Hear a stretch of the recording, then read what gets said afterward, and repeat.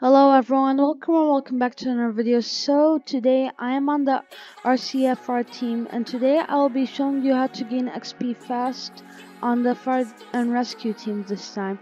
So yesterday I did a video on the DOT team and today I'm gonna do a video on the fire team. So yeah, uh, first of all, uh, okay, so number one, respond to calls. I know I've already said this yesterday and I'm gonna say it today, but respond to calls. So a lot of the people who join the fire department team only use it to like play around with a ladder truck and uh, mess around, uh, glitch it, and use some and use the ability of the massive fire vehicles to uh, block roads and troll on public servers. That's how you not earn XP. So if you want to actually earn XP, then you gotta respond to calls.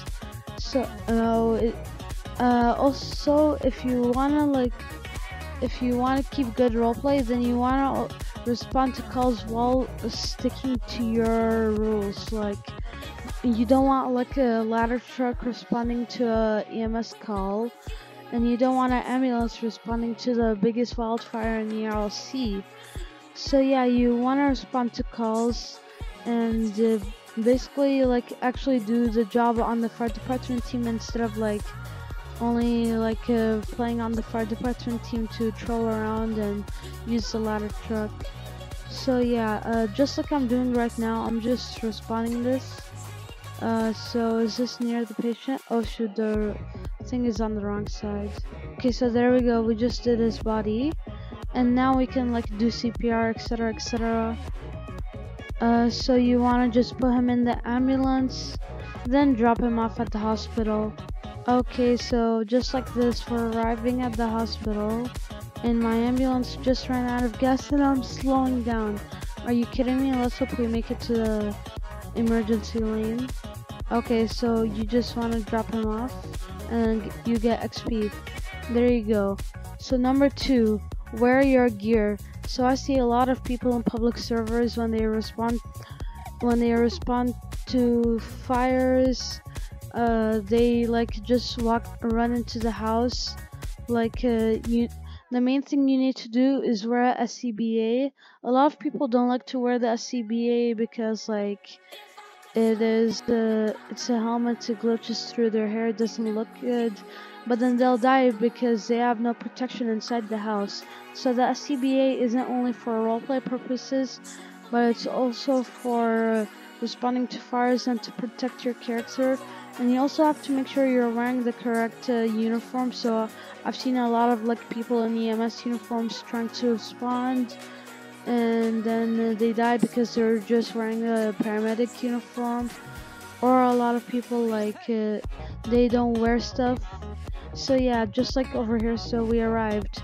Now if now you want to like actually access your compartment or do this in the station you can wear your SCBA doesn't mean you will need to wear your SCBA every all the time 24 7 you could only wear it once you're when if you're responding to calls. But yeah so like if we walk up to this like flame for a second you can see that I'm not getting damaged because I am wearing my SCBA and protection gear so that's not killing me from the fire. And yeah so that's another way. And number three then respond to civilian calls. So let's go ahead and stop this fire to stop the lag. Respond to civilian calls. So if, uh, uh, so a lot of the times when I call as a civilian in a public server and there's active people on the fire team, they never respond because like I'm just a civilian and like I'm not an actual like AI call or server call, so they think they don't get XP. But you can actually get XP for just responding to civilian calls. So like if a civilian gets shot and needs to be healed, even a firefighter can do that call and just heal them with their medic bag and they can get XP for doing that. Or like if someone's car catches fire, you could actually respond and put the car fire out and then heal the driver and that'll give you a lot of XP. And another thing is, the fire team, you actually get 45 XP per per fire that you put out. So that's a lot of XP. And uh, with the uh, more XP comes promotions. and with promotions comes new vehicles, new helmets, and new tools.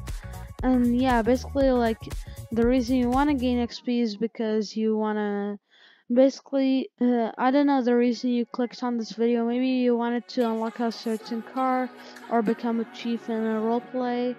But yeah so that's really all there is on how to gain xp fast. I hope this video was helpful. Uh, make sure to comment down below if you have any questions or want me to do more videos like this. And i hope you guys enjoyed this video. Make sure you comment like and subscribe. And i'll see you guys next time